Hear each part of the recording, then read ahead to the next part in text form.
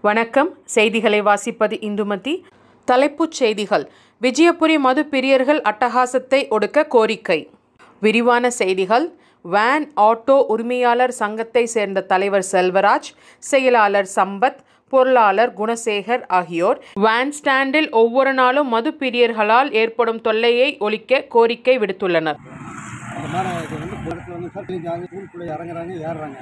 அது மாதிரி வந்து நீங்கள் சொன்ன மாதிரி இந்த விஜயன் கோயில் அம்மன் போட்டு ரொம்ப அக்கறம் பண்ணுறாங்க வந்து பஞ்சாயத்து சொல்லி எந்த நடவடிக்கை எடுக்கல.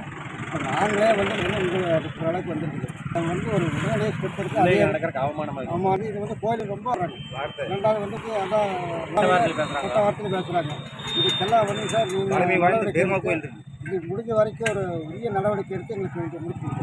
நாங்கள் ஆட்டோ ஸ்டாண்டு ஆட்டோ சங்கத்திலேருந்து சொல்கிறேங்க பேசுகிறேங்க குடியாரங்க வந்து பிடிச்சிட்டு வண்டிக்கு பின்னாடி பாட்டில் போட்டு உடச்சி இப்போ ரகலை பண்ணுறாங்க கேட்டால் அடிக்கிறதுக்கு வர்றாங்க நிறைய பிரச்சனை பண்ணுறாங்க இந்திக்காரன் குரூப் வந்தாங்கன்னா அவங்களே அடிச்சுட்டு சேர்த்து போவானுங்கிறது அந்த அளவுக்குலாம் ரகலை பண்ணுறாங்க பெரிய பிரச்சனையெல்லாம் நடக்குதுங்க. எவ்வளோ தூரம் சொல்லியாச்சுங்க. பார்லி டயருமே பஞ்சர் ஆகுதுங்க.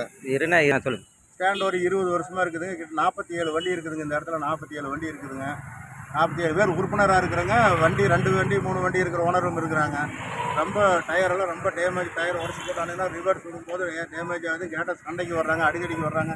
இந்திக்காரங்களுடைய அட்டுழி ரொம்ப ஓவராக இருக்குதுங்க. கேட்டால் அவனுக்கு வேலைக்கு வராங்க. அவனுங்களே அடிச்சுக்கிட்டு மண்டையை உடச்சிக்கிறானுங்க. நிறைய போலீஸ் வர ஹைவே போலீஸ்காரங்ககிட்டையும் நிறைய சொல்லியாச்சுங்க. ஒயின் ஷாப்லையும் சொல்லியாச்சு. இப்போ பார் ஓப்பன் பண்ணதுக்கு அப்புறம் பார்லையும் சொல்லியாச்சு. நம்ம செயலாளர் சம்பத்தன் இருக்கிறார். பார் ஓனர்கிட்டையும் பேசியாச்சுங்க. இருந்தாலும் எந்த ஒரு தீர்வும் இல்லைங்க. ரொம்ப எங்களுக்கு வண்டி நிறுத்துறதுக்கு ரொம்ப இடைஞ்சலாக இருக்குது. இருபது வருஷமாக இருக்குதுங்க. நாங்கள் எல்லாம் பதிவு பண்ணி சங்கம் எல்லாம் சங்கத்தில் செயலாளர். இந்த இடத்துல பிராந்தி கடை இருக்கிறதுனால இது வந்து Gobi main road Sakthi main road எல்லா வாகனங்களுமே வந்து திருப்பூர்லேருந்து வர்ற வண்டி அனைத்து வண்டி இதுதான் போகுது. இந்த பிராந்தி கடை இருக்கிறதுனால என்ன ஆகுதுன்னா இங்கே பாட்டில் போட்டு உடைக்கிறாங்க. வீல் கடியில் தண்ணி போட்டு பாட்டில் வச்சு உடைக்கிறாங்க. டயர் உடஞ்சி போயிடுது. அதனால் எங்களுக்கு பக்கத்தில் கோயில் இருக்குது. பெருமாள் கோயில் பக்கத்தில் இருக்குது. அதனால் போக்குவரத்து இடைஞ்சல்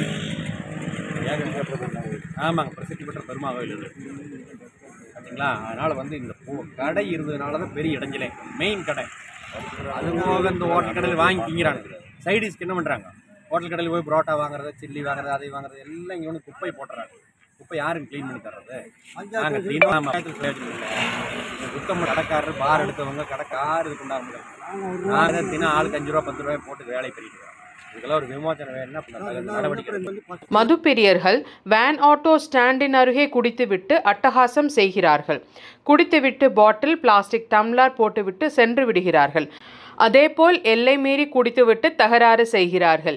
குடித்த மயக்கத்தில் ஸ்டாண்டிலேயே படுத்து விடுகிறார்கள். ரோட்டில் அரை நிர்வாணமாக படுத்து விடுகிறார்கள்.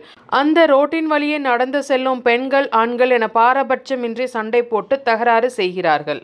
அதேபோல் தகாத வார்த்தையால் பேசுகிறார்கள் திட்டுகிறார்கள். இதுபோல் இனி தொந்தரவு செய்யாதீர்கள் என பலமுறை சொல்லியும் மதுப்பிரியர்கள் தொல்லை தொடர்கிறது.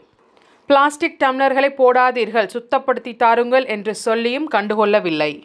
அதே வழியாக பொதுமக்கள் சென்று வருகிறார்கள் பொதுமக்களுக்கு எந்த பாதுகாப்பும் இல்லை. பள்ளி செல்லும் குழந்தைகள் ஆண் பெண் இருவருமே அந்த வழியாகத்தான் பாய்ந்து சென்று வருகிறார்கள். இதை சம்பந்தப்பட்ட அதிகாரிகள் சட்டப்பூர்வமாக நடவடிக்கை எடுக்குமாறு கேட்டுக்கொள்கிறோம் என்றும் வேன் ஸ்டாண்ட் உரிமையாளர் சங்க அறிக்கை ஒன்றில் கேட்டுக்கொள்கிறது.